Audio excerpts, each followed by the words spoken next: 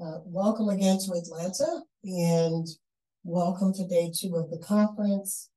If you were here with us yesterday, I think you would agree there's just one word to describe it outstanding. Uh, we had some very uh, engaging and thought provoking discussions that definitely demonstrate our efforts to drive change. Today, we're going to continue those sessions. Uh, but before we do that, we have a very exciting plenary plan for you. Dr. Micky Tripathi, the National Coordinator for Health Information Technology and the Director of ONC, uh, a role that he holds within the U.S. Department of Health and Human Services, is joining us for a fireside chat to talk about his vision for health IT. Welcome, Dr. Tripathi. And uh, if you want to join me on the stage, you can. I'd like you to.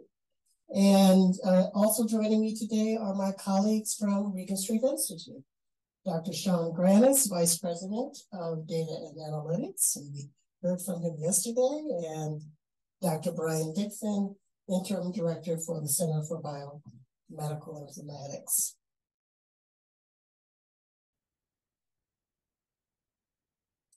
So we're going to have a, a, fireside chat with Dr. Tripathi, and where he's going to share his vision for health information technology in the U.S. And again, we're very excited that you are here with us today.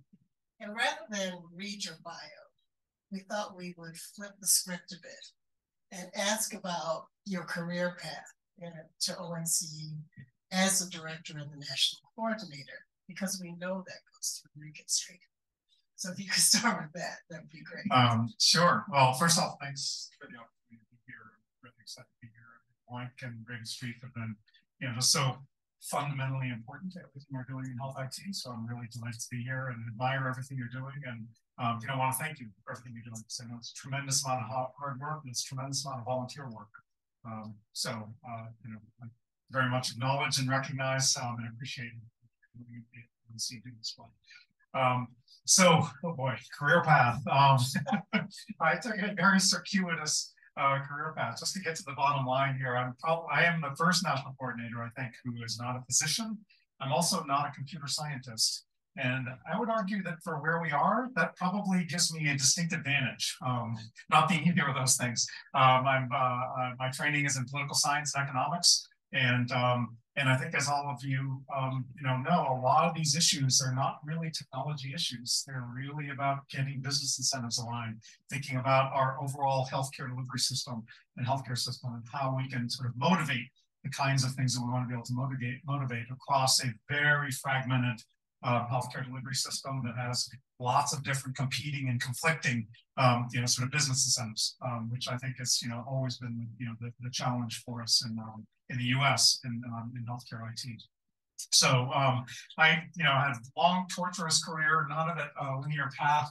Uh, started off uh, working in the Pentagon actually after um, uh, after I got out of college and graduate school, where I was a presidential engineering fellow. I was an operations research analyst um, doing essentially cost effectiveness analysis of weapon systems programs.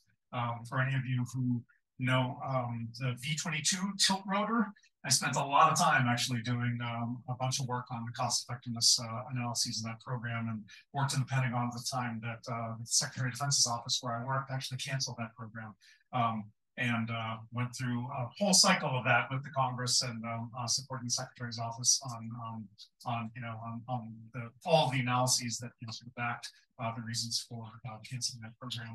Um, that led to my um, leaving the Pentagon um, as I decided that I wanted to do a different career path. Um, went back to school, got a PhD in political science, where I focused on quantitative methods and economics, uh, primarily political economy, and went went then to work for the Boston Consulting Group, um, where I did a number of things in the healthcare sector, pharma, life sciences, data analytics.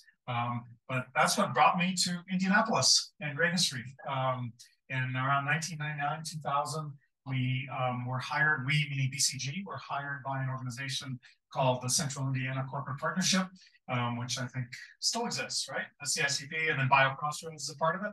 Um, they had hired BCG initially to do some work in Indianapolis looking at the business climate, um, where the idea was, I think that we at BCG had written a a report in Massachusetts for the Massachusetts High Tech Council, which looked at areas where you had industry, um, uh, industry, government, and academia collaborating and um, to have synergies in, in local markets. And they had looked at some work that we had done looking at Boston and asked if we could you know, do a similar analysis in Indianapolis. So a team went out to Indianapolis. They came back with eight ideas. Um, one of those ideas was called evidence-based medicine, and it was looking at the work that the Regenstrief Institute had done. And you know, they came back and they said, "This looks like an area where the Regenstrief Institute in Indianapolis seemed to have a clear advantage over what's going on, you know, across the country. And importantly, it seems like this is an area that's going to take off. Now, I don't know how many of you have worked in consulting firms, but you do a lot of work and usually you're like, yeah, we kind of got it right. That was one where it was, like, I look back and it's like, wow, that team, I wasn't a part of that team. It's like, wow, they got that one right. They really got that one right. The health IT, you know, they, they sort of looked at it and said, health IT is about to take off here. And Regenstrief has, you know, has um, some real assets here that no other um, organization around the country seems to have. The Indianapolis market seems to have you know, a whole bunch of stuff. Anyway, fast forward, CICP came back, asked the Boston Consulting Group to develop a business plan for two of those projects. One was a proteomics center, which I wasn't involved in, but the, where I got involved was the project to develop a business plan for what was then called evidence-based medicine, but eventually became IHI, the Indiana Health Information Exchange, where the idea was to create kind of a retail front end for all of the great work that Regenstrief was doing, um, you know, um, under the covers, as it were, um, within the, you know, within the bowels of the Regenstrief Institute. So I had the privilege and honor of, you know, being asked to be the first CEO of that um, organization to get it launched, um, working with Shaun and Marc Overhage and Clem McDonald and the entire Mount Rushmore um, sort of uh, uh, group there. Um, learned a tremendous amount, um, and you know, importantly to me, was able to um, convince Marc Overhage finally to uh, to take over um, after we had gotten the company launched um, and were able to uh, demonstrate some success. That now John Kansky and the entire team has you know taken to new heights. And you know so I'm really grateful and um, for that opportunity um, couldn't have learned from better people. Um, and that led to of course as we started um, you know as as that got launched in Massachusetts uh, a big effort was starting just you know just on the heels of my leaving there um, with the Massachusetts Health Collaborative, Blue Cross Blue Shield of Massachusetts had put forward a $50 million financial contribution to some kind of experiment in health IT. They were kind of looking at what Regenstrief had been doing, what, looking at what we were doing at IHI, kind of looking out on the horizon and thinking, you know, there's something about electronic health records here, but we can't seem to move the market. Or, you know, why aren't ambulatory, ambulatory providers buying these systems? Um, and so they decided to launch this effort to, you know, run some pilot projects in Massachusetts um, I was sick of flying. I was commuting to Indianapolis for like two and a half years. So uh, that was the opportunity to leave and work in my own backyard. And then, of course, the meaningful use program came, and then we were able to get much more involved with the ones going on national news. Well, thank you for that. That was, it might have been a circuitous path, but the appropriate path to, to. Uh, so, for the next question, we've been on this interoperability journey for quite some time, um, particularly since the passing of the HITECH Act. Yet we've also heard you say we need to move beyond interoperability. We know that there's something behind that. So if you could, you know, this everyone convened in this room here is keenly focused on semantic interoperability, which of course is critically important, yet one of the most challenging levels to achieve. So could you share more context of what you mean by we need to move beyond interoperability? Sure. Um, so, I mean, first off, obviously, you know, semantic interoperability is really important and is the foundation of, you know, everything we've been doing. But I think we've got, um, you know, a number of industry, policy, regulatory, uh, you know, business evolutions that have taken place that, um, you know, that are helping to propel us, I think, to uh, you know, sort of think about this perhaps in more you know broader and more expansive ways, in ways that are more aligned perhaps with other parts of the economy. So a couple of things that I would point to. One is, you know, we have certainly focused, and I know, you know, all the work at Regenstrief and we've been working on with IHI is, you know, about continuing to push forward with semantic interoperability based on um, open industry standards. And we at ONC will continue to push on that as hard as we can. And, you know, that's kind of a rising floor. But I think as we know, right, and I think as, as we keep seeing, the ceiling is rising faster than the floor.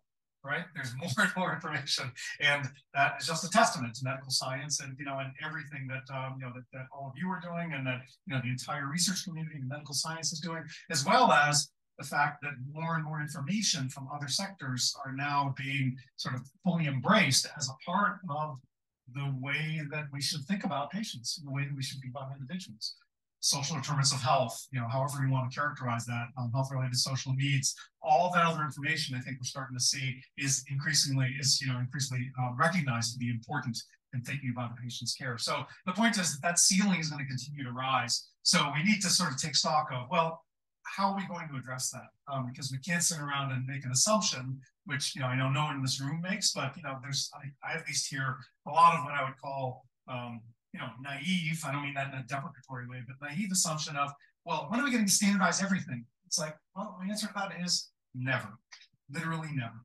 Um, and now, though, we have the advent of um, commodity internet, commodity compute power, commodity storage, cloud native business and technical infrastructure that allows us to say, and of course, AI, AI ML, AI um, all of those tools that allow us to look at this and say, you know what, maybe there's a whole bunch of stuff that um, we can derive tremendous value from that live sort of on the top, right? The things that are not standardized yet, um, that we're going to drive tremendous value from using those tools. And we need to bring those to bear um, to be able to do that. The 21st Century Cures Act, um, not intentionally, but in in um, uh, in many ways actually drives that further because one of the things the 21st Century Cures Act did with the information blocking provisions that many of you may be familiar with is it said that all information, all electronically accessible information, the exact quote, electron, all electronically accessible information needs to be made available to any authorized party. Not just patients, people focus on patients, which is great. I mean, we should focus on patients, but all authorized parties, including patients. And what that does is it took the lid off of this idea that we need to just focus on the standardized data and you know and keep focusing on that because they basically took the lid off and said we're talking about all electronically accessible data. It doesn't matter whether it's standardized or not standardized. It doesn't matter whether it's an electronic health record or not an electronic health record. What they're saying is that you know you hospital, you EHR vendor, you health information network, you have to make it all available if it's electronically accessible, regardless of what form it's in. So that also oh, from a policy perspective, it kind of added momentum to this, to this idea that you make that available, whether it's standardized or not, whether it's structured or not, and let the market figure out, let innovation figure out how you're going to drive value from all of that additional information. So that's the first part that I would point to is just this idea of we're going to make more and more information electronically that's that's electronic available and allow the market to figure out ways um, to make that valuable. Um, the second point, and this gets to the interoperability versus interactivity, as we think about RESTful APIs, FHIR APIs, um, you know, I mean, healthcare, I think if, if we look at, and I know this was one of Sam Regenstrief's recent uh, insights early on was, how come so much innovation on, you know, on the uh, you know, sort of computer system side is happening in dishwashers and in other sectors that we don't really see embraced at a ground level in healthcare. And there are lots of good reasons for that, right? Healthcare really is different in fundamental ways. But I think that with the, you know, sort of the um, more ubiquitous availability of API-based technologies, and now with ONC rules requiring that all systems have that available, I think as all of you know, you know, those APIs have a richness to the ways that they allow systems to interact that is different than the conventional ways that we thought about interoperability, which is I send you a CCD, you send me a CCD, we process the information, and then you know, and that's sort of like a you know almost a you know it's, it's very static. Um, whereas APIs allow for much richer type of exchange, which I think of as interactivity. It's systems that interact with each other and that indeed are built with an assumption that they are going to interact with each other. And you know, think about the way Kayak works or the way Expedia works. Right? They don't create a huge data lake of every airline schedule in the world um, and try to update that every single night, right? They absolutely don't do that. What they do is they have a whole bunch of APIs in the background. And when you go in, you say, I want to fly to Atlanta, I want to fly tomorrow. Those APIs fire off in the background with the assumption that they're going to be able to get that information in real time and then be able to dynamically adjust it, dynamically tailor, tailor it to your request. that's, I think, how we need to move beyond our thinking about interoperability to say, and just think about the use cases prior auth, you know, quality measures, public health reporting. You think about the ways we do electronic case reporting today, right? I mean, a more modern convention around that, if you just took that Expedia model, would be like, we should not be doing this EICR, RR, you know, um, RCKMS, and then back. And then finally going to, you know, sending you a pile of data that you then say, I need a little bit more information. I better call that practice, right? I mean, we wouldn't do it that way if we are going to start from scratch. And I think that's what we want to be able to get to is say that with an interactive kind of approach, you can have much more dynamic ways of systems interacting with each other um, and being interdependent on each other um, and to, to allow us to automate a lot more than we're able to automate today. Yeah, thank you for that, that excellent clarification. Shaun, you don't take the next question you talked a little bit about sort of the, the, explosion of data and maybe not necessarily standardizing it. Um, what comes to mind is how AI might play a role in that. So I'm, the question is, how is ONC thinking about incorporating AI into its strategy to achieve its goals? Yeah, I mean, we are focused on, um, you know, two things. One is um, uh, allowing the, you know, the appropriate use of AI and AI ML uh, based tools um, to be used in ways that are going to benefit patients at the end of the day, um, and not doing anything that will overstep or stifle that type of innovation. And I think the other thing that the other part of that is how do you sort of create some guardrails for what we might think of as responsible AI? Um, and you know that's a that's a, a real balance to strike, I think, because you know we ourselves don't want to be in the business of saying that is a good AI enabled tool. That is a bad AI enabled tool. You know, we're not regulators we don't want to be regulators in that sense. I mean, FDA has its regulatory regime related to software as a medical device that, you know, is very well established in industry. They've approved over 500 um, uh, AI-based uh, devices that are, you know, either embedded in hardware or genuinely just natively software um, as a medical device. And that's a whole regulatory regime, which, you know, which we obviously respect and that, you know, that FDA covers from an ONC perspective, what we focused on is more about transparency, is to say that um, we want to remove the black box nature of these tools, at least for where we are in our, you know, growing familiarity and growing maturation of this, because I think we all recognize this is very early. Um, I was struck by, you know, about a month ago, we went and, um, uh, with ARPA H, um, we went out to uh, Microsoft and spent two days out there. And I was personally struck by how um, awestruck they were at what they were discovering every single day. And I'm sure you know you're finding that at Regenstrief that you know that that that every single day they're discovering new things. And it just struck me how dynamic this is right now and how early we are in all of this, and particularly in healthcare. It's so much harder to get data, so much harder to aggregate data and be able to do the kinds of things that you know they just do with a large language model, just unleashing it on you know on on the internet. Um, but um, so our focus has been much more about saying that increasingly, um, these types of tools are drawing their information from electronic health record data, are um, and also the electronic health records that we certify are the vehicle that are used to insert the results of those AI-based tools into workflow, whether it's on an administrative side or a clinical side whatever happens with that algorithm and wherever it lives, it turns out that where the rubber ends up meeting the road a lot of times is the insertion of those results into the clinical workflow of electronic health records. And we've, you know, we've focused on that for the last 10 years since meaningful use, right? Spent $35 billion in incentives getting providers to use these electronic health records. So that's a good thing.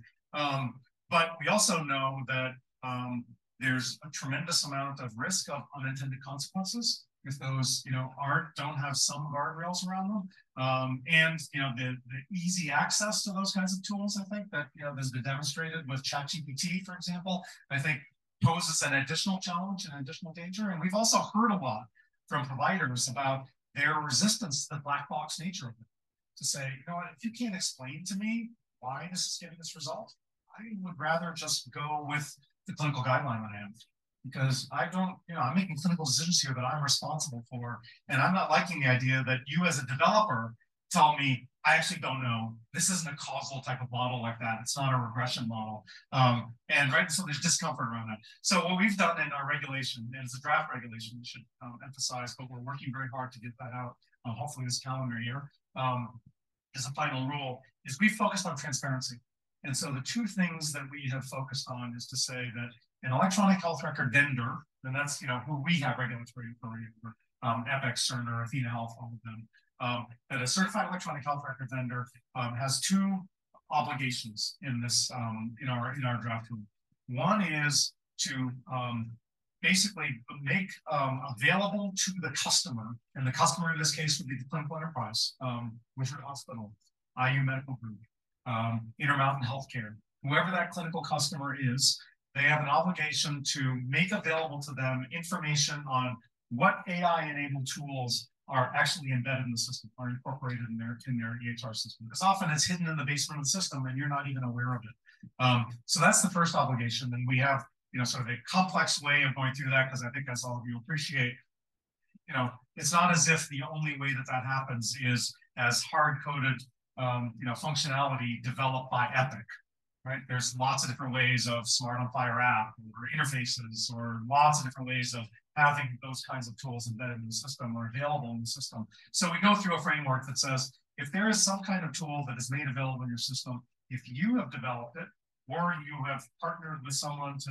basically sell it to the customer, you have an obligation to make available what we're calling sort of a model card representation of what's in there. So what AI-enabled tools are in there, we define that, we call it a PDSI, Predictive Decision Support Intervention.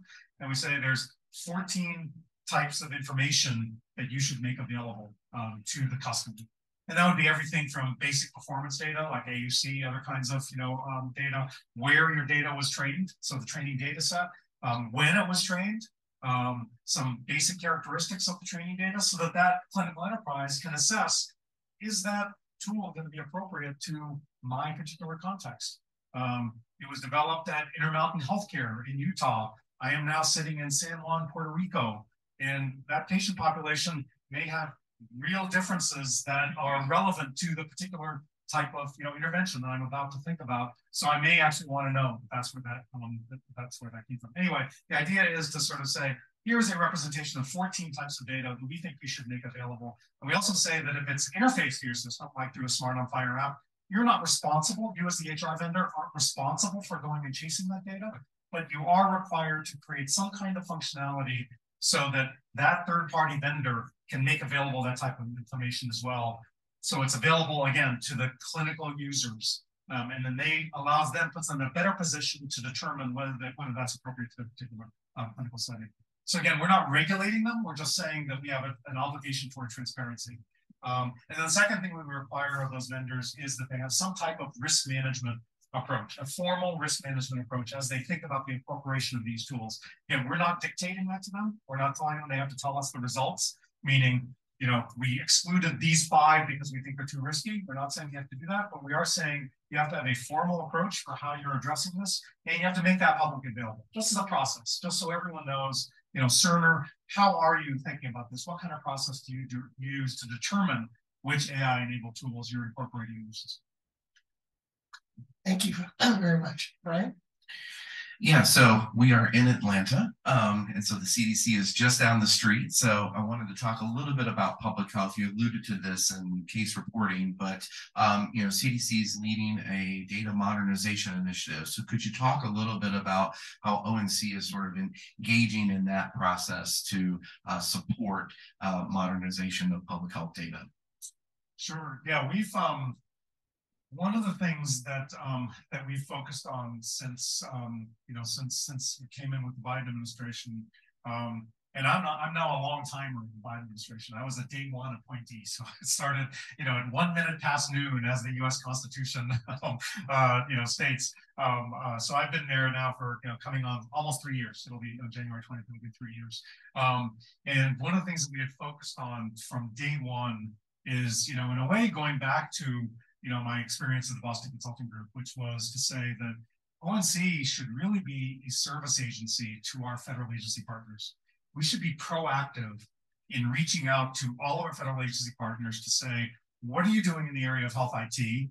Why are you doing are you doing it that way when we have a whole set of standards instantiated in things like the US core data for interoperability that we require every HR vendor to support, FHIR APIs, CCDs, those are all things that we require that the industry support that's providers, you know, certified EHRs now are in ninety-seven percent of hospitals and eighty-six percent of ambulatory practices across the country.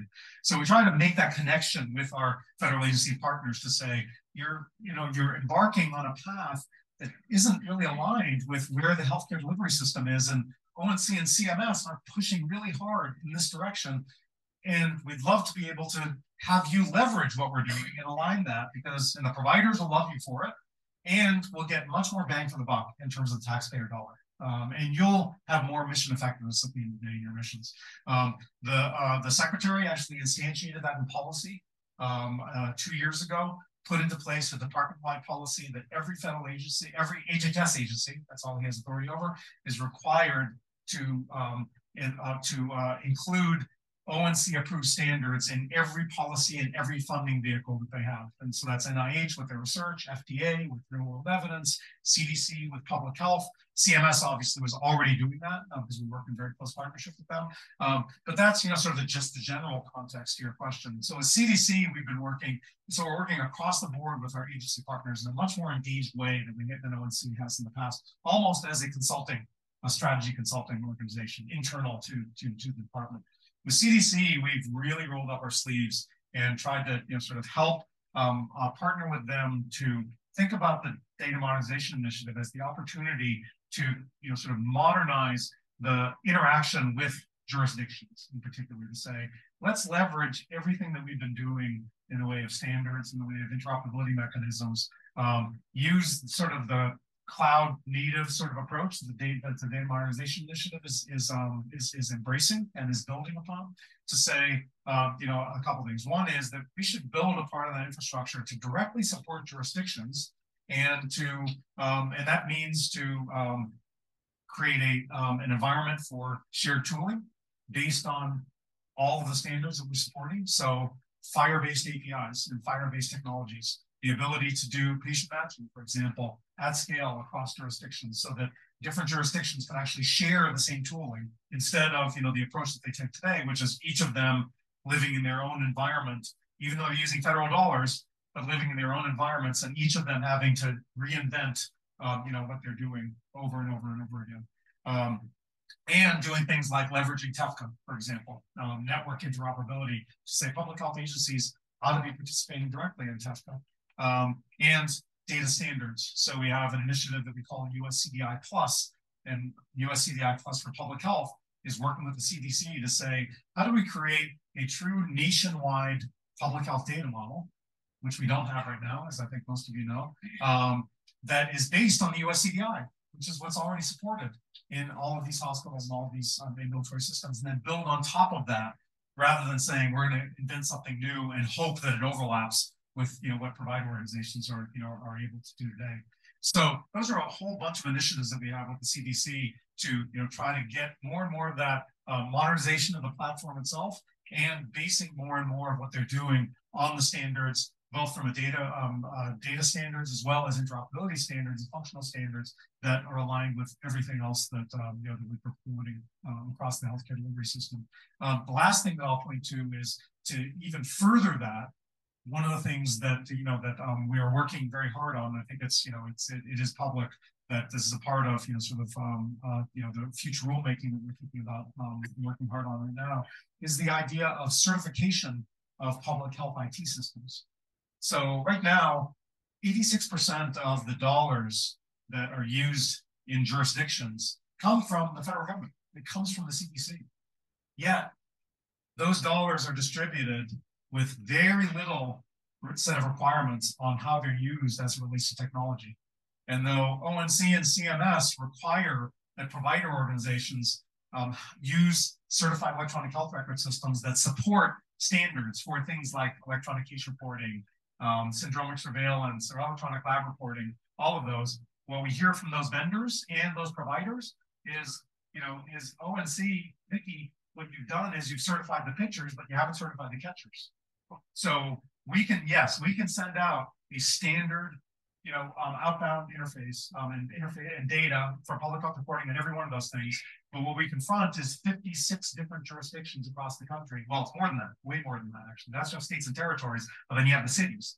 um, and, you know, counties and all that, um, but at least, you know, fifty-six, um, that, uh, each of them has their own little tweak to it. And that means we have to build fifty-six different approaches and maintain all of them. And that's not just, you know, Epic and Cerner saying that, that's provider organizations like HCA who work across the country in multiple markets. They're saying the same thing.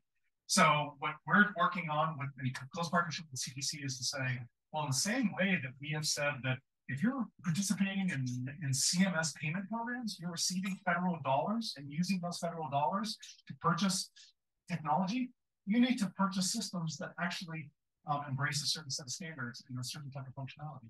So now we're sort of saying, well, the C, well, in public health, we should be doing the same thing, since 86% of those dollars do come from the federal government, taxpayer dollars coming from from uh, you know federal government. That they should also have need the same kind of bar. So we're working really hard on, on putting incorporating that as a part of the certification program, and then we'll work with the CDC on how you motivate those jurisdictions to um, narrow the field of what they're choosing to those systems that are certified so that we have much better connection and coupling between those who are sending information and those who are receiving information. That was a great answer because the take home message for me is we're certifying the pitchers, not the catchers. I mean, that summarizes the whole thing. Um, next question is, excuse me, we all know, excuse me, that um, uh, if we all we all know that health equity is a central focus right now, and what role do data standards like LOINC play in that, and what's ONC's role in promoting health equity standards? Yeah, we have a couple of um, things. First is, you know, we focused um, first on data, um, which is to say that uh, we need to be able to, you know, and I think as you know, we've heard over and over from the um, you know, from the, the health equity community or, you know, um, experts who we've, um, uh, you know, sort of relied on to provide us with guidance, um, is, you know, if, um, uh, I always get it backward. Um, if you're not counted, you don't count, um, which is to say that if you're not represented, if various communities are not even represented in the data in any way, then we have no ability to figure out whether there are differences in healthcare delivery in the circumstances of those communities that then even you know forecloses our opportunity to be able to act on those um, to be able to try to rectify some of the health equities that you know that we know exist in in um, you know in our healthcare delivery system. And what we want to make sure of is that you know minimally health information technology isn't making the problem worse. Well, isn't you know um, uh, uh, you know sort of uh, uh propelling those you know health equities, uh, those health inequities, and that it's not making them worse. Because as we know, information technology has a way of amplifying things. Sometimes it amplifies really good things. Um, often, as we know, anytime you open the internet any single morning, um, it amplifies really bad things too. And so we want to make sure that from a health equity perspective, that health information technology isn't doing that. So the first thing is we focus on data. So one of the first things that we did when we came in is that US CDI, the US Core Data for Interoperability, we think of as the minimum data set in the healthcare delivery system because it's required to be supported by all of those vendors who are used by the vast majority of provider organizations across the country. And so we looked at that, and the first thing that we noticed is there were no, there was no reflection there of the particular types of data that are important from a health equity perspective. And so that was the first thing we did is in the summer of 2021, after coming in, we added four categories of social determinants of health. Um, we added sexual orientation, gender identity, um, race, ethnicity, language was already supported, and that's the the CDC data set for race, ethnicity, language. Um, so, you know, the most comprehensive data set that we know of um, for representation of race, ethnicity, language, as well as other categories like tribal affiliation, for example, as a way of just saying we need to start to incorporate that as standards that are supported in the, in the community and are supported by electronic health record vendors, and therefore can be communicated, you know, across the ecosystem. The other part then that we're focusing on, that we're working very hard on is the other side of it, which is what is the type of functionality? For example, you know, we focused a lot on clinical interoperability, um, less so on social service interoperability. Now, in part, that's really hard. I mean, it's much harder because those organizations don't have the technology often. Um, they also live outside of HIPAA, which makes it really hard from a policy perspective. On the other hand, if you were to stand back and say, I really care about health equity, really, really, really care about health equity, we might have invested more earlier on to say we need much more social service integration in the ways we think about interoperability than we have today.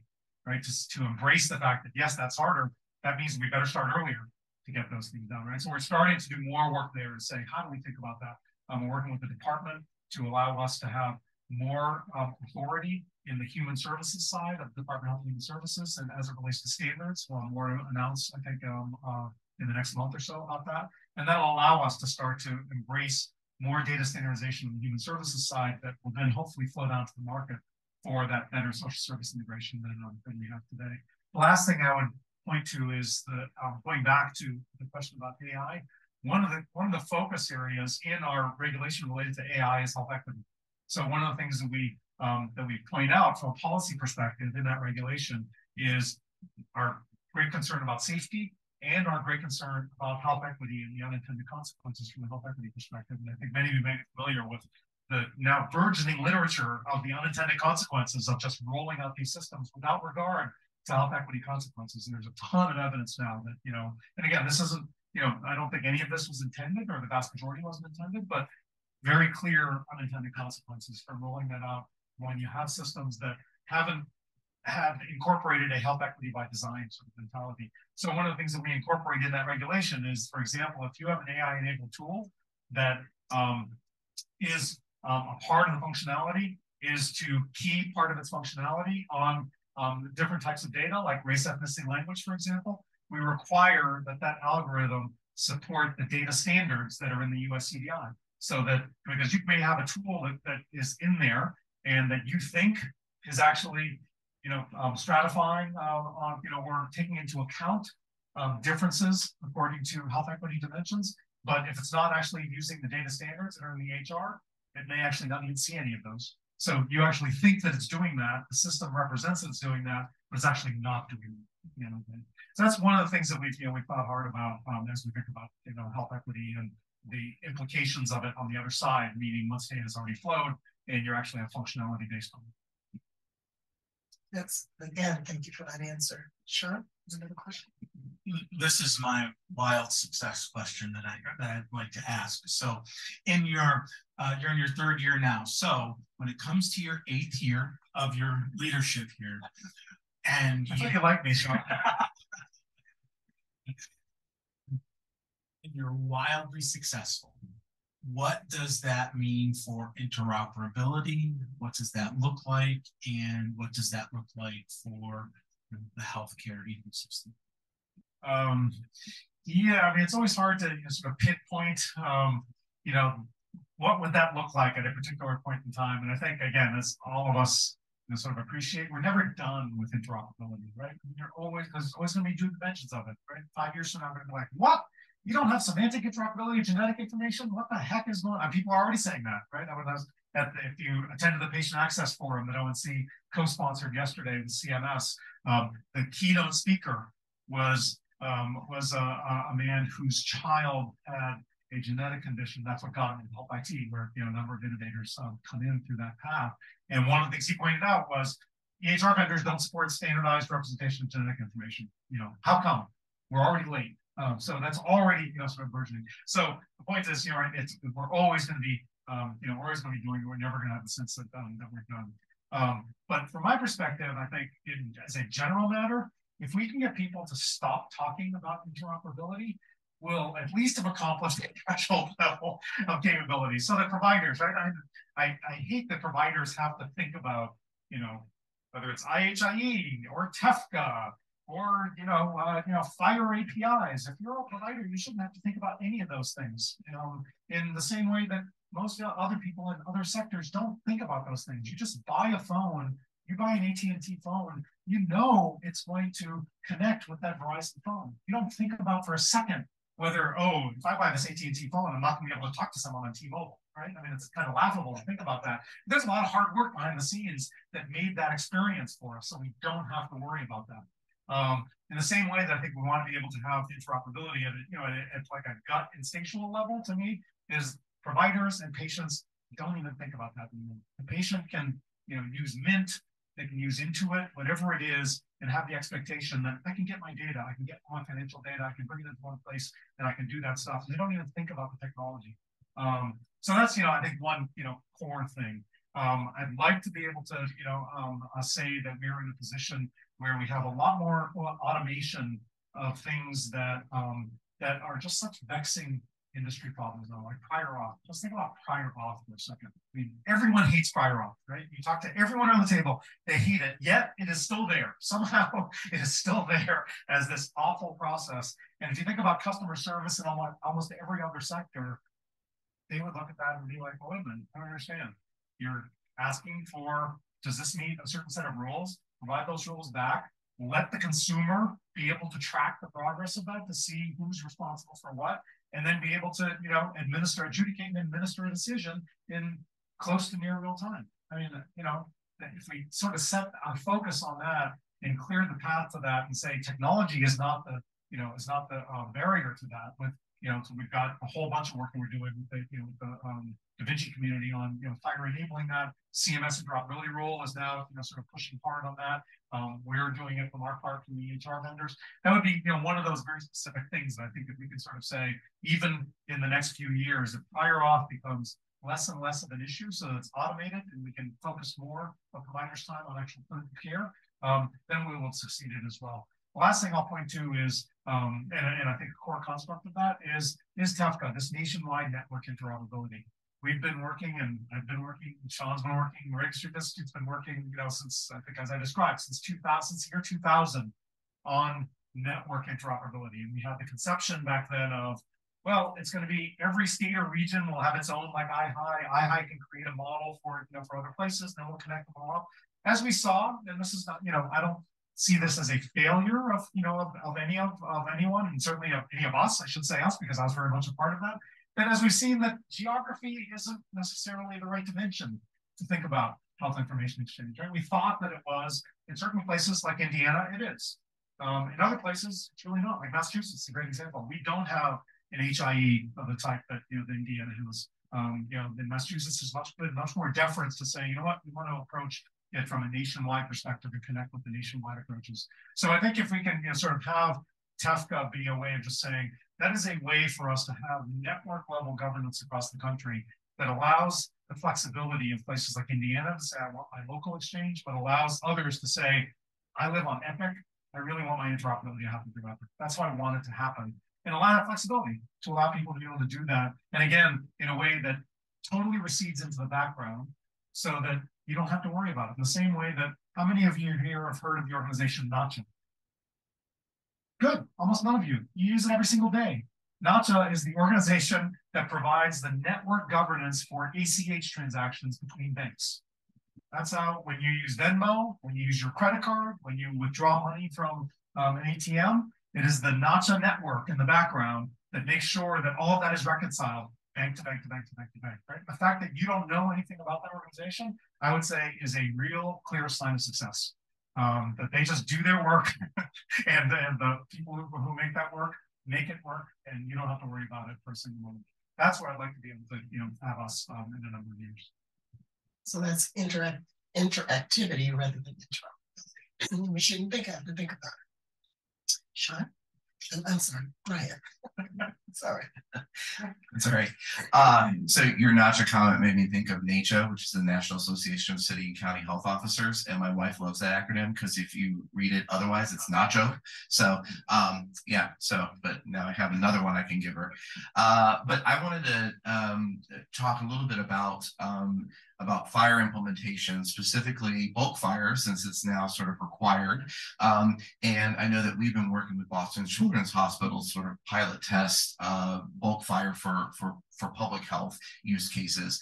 Uh, but we've in our in our sort of first foray ran into some performance issues. So if you want, want to talk a little bit about sort of how you guys are sort of looking at the implementation of bulk FHIR and um, and how, if anything, um, you're thinking about how to stimulate uh, good performance of, of bulk FHIR as it is being implemented in, in EHR vendors. Um, yeah, I have no idea. Um, so, and the reason I say that is, you know, is, is you know the work that, that you're doing and that Ken Mandl and the Boston Children's Hospital team um, is doing. I mean, we're just starting to see the first, you know, I think the first um, uh, uh, iteration of that. I think there was a, a pre-publication, um, uh, you know, sort of note um, that um, was made available. Is that we're just starting to learn about what are the issues in bulk FHIR and performance ends up becoming a big issue. How are these systems going to perform it to be able to accomplish that goal of being able to have you know a bulk FHIR API that allows me to get that information in a reasonable amount of time on a roster of patients, not just on you know one patient at a time. Um, I think that the reason I say I have no idea is because it gets into really complicated space as it relates to um, architectures and the way different vendors have architected their systems. So, you know, for example, just take Epic for a second. I'm not picking on Epic, um, but you know, Epic has a whole bunch of customers who um, I think, as, as all of you know, um, have they they actually host the Epic environment. They actually host Epic within their own environments. Um, Boston Children's Hospital is a great example um, where you know they did with Cerner and now with Epic. I don't know how they're going to do that, um, but you know, but with um, when they in their previous, um, you know, with uh, uh, they're still on Cerner. I think they're going to be moving to Epic. But you know, with Cerner, for example, they host their EHR and a number of other very large, um, you know, systems across the country, like Mayo Clinic, for example. They host Epic um, themselves, and so now you say, well, the performance issue and you know, and, and I think Epic and any technology vendor would say that is that well, now we've got this bulk FHIR thing, which actually does have a lot of load, places a lot of load on these systems.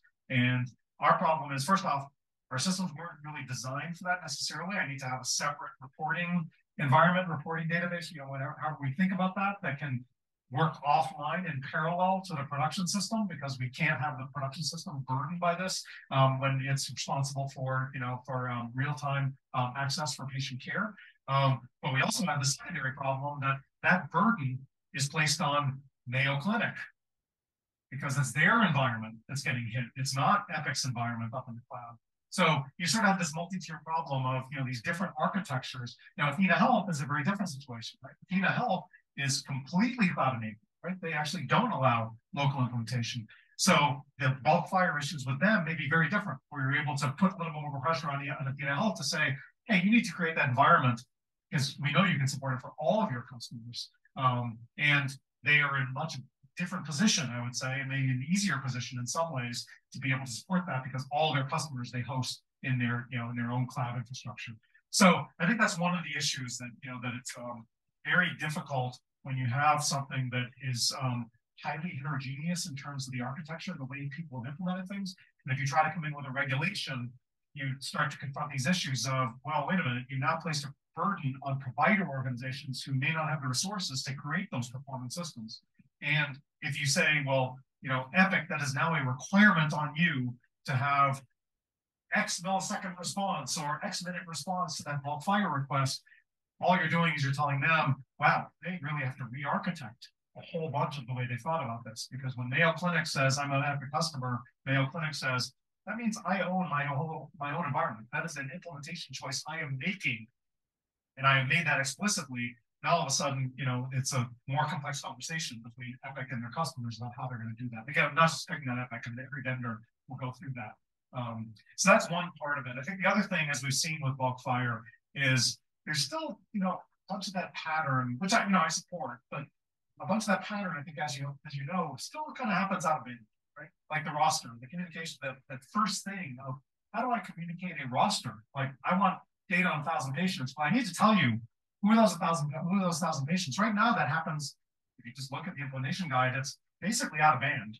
It's uh, I send you a CSV file.